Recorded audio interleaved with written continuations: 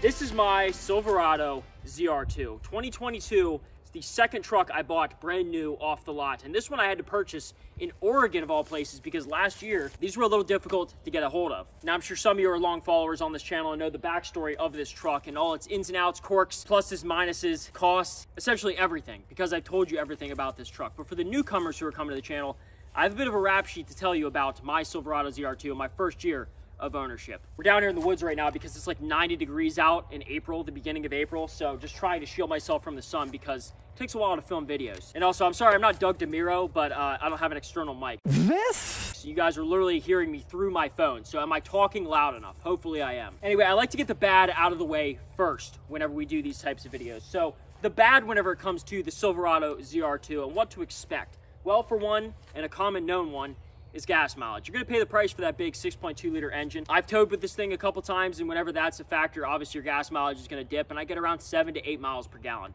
Regularly though, I think I get somewhere between 17, 18 miles per gallon on a great day. Uh, that's about the highest I've ever gotten. My average though, throughout my lifetime of owning it, has been 11 to 12. So yeah, not that great. Another one of the big issues I have is that it doesn't come factory with rock sliders. So if you're looking to purchase one and you see it as a dealer add-on, definitely jump for it. That is a huge upgrade that will save you money in the long run, even though it's an expensive upfront modification. This truck has suffered severe rock chips all along the skirting, doors, and back to the beginning of the bed. And this is due to the fact that I just don't have coverage there. Rock sliders might not even be enough to save it, but it would at least minimize the damage because I've also had issues on bottoming out on my pinch weld because, well, this truck's meant to off-road, so we off-road it.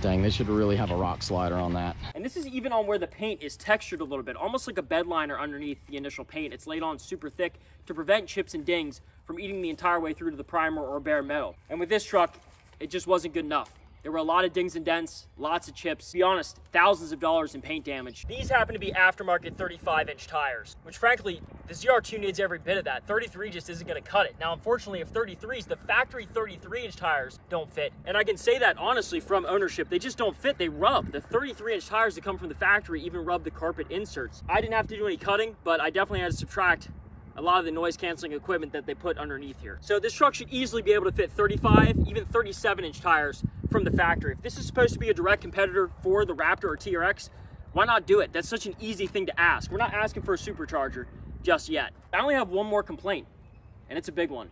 Reliability. I've had issues from day one. The moment I drove it off the lot, the transmission seemed like it was slipping, or some people claimed it was a lifter issue. I didn't know. GM's a little finicky with warranties whenever you do modifications, which we'll get to those a little bit later in the video. But the transmission in this machine essentially went out. I have 9,000 miles on it. It was suffering since zero. And for Chevy to attempt to not cover that, it's just a, a big swing and a miss from such a big company with loyal followers. So now for the most part, the bad is out of the way. So let's get to the good. To prove that this truck has been tried and tested, I've taken to Rausch Off-Road Park here near Tower City, Pennsylvania, and we also shipped it out to Colorado, where it proved itself on three trails, Jeep-only trails, mind you. I don't know what the rating system out is out in Colorado, uh, but just to show you how intense these trails are, they were up there with Rausch Creek. But for those who don't know, Rausch Creek is an off-road dedicated park uh, for you to take your vehicles out to with varying degrees of difficulty. And this vehicle went out there, proved itself, but unfortunately got a little bit of damage. Like I mentioned, the pinch weld paint chips, dents, and frankly, I can't imagine how severe the damage would have been without these upgraded 35 inch tires, just to give us that little bit of an edge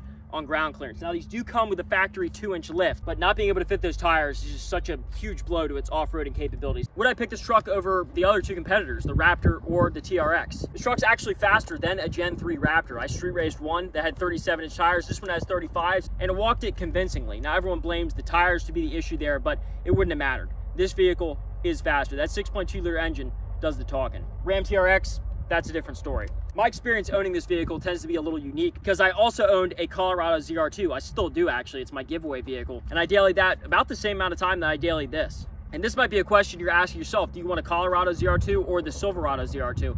For the price, the extreme capability, better performance, better gas mileage, it's a no-brainer in my book. I would pick the Colorado ZR2. Now, yes, you're giving up that beefy V8, towing capacity, bed size. It's not enough. I, I, I overlook that whenever it comes to the Colorado ZR2. It's too perfect in my book. I will pick that every day of the week, and that's why I'm actually trading this vehicle in on a Colorado ZR2 very shortly. I have a uh, full build video on that if you guys want to check that out. It's up in the top if you guys want to watch that, me uh, custom building that down there with Matt Beaver at Whitmore. Modifications done on this vehicle, very, very few. We had a wide body kit that was gifted to us, uh, didn't really like the look, and whenever we found out that we couldn't supercharge it, uh, there were some issues behind the scenes with that, and that really killed our morale on the build for this vehicle. So the wide body kit, we were gonna do the entire way around. We just had the front though. Then we were gonna supercharge it. That was almost locked in, everything ready to go uh, and just totally fell apart. So we're jumping ship, getting the Colorado ZR2. But mods are starting to be available for this thing. We also wanted to lift it. Ready Lift has been advertising a lift and saying it was going to be ready. It's going to be ready for, I think it's been eight, nine months now at this point, and it's still not here. So no hate towards Ready Lift. They're trying to perfect their product, but man, we needed that a long time ago so that I could fit these 35 inch tires comfortably. I added these goofy little rock slider steps here. I mean, they're just steps, they're not rock sliders. I wanted to make them into makeshift rock sliders just because I was so desperate. But other than that, oh, we have the AWE off-road exhaust. Uh, that's probably my favorite modification on the vehicle by far. Listen to this.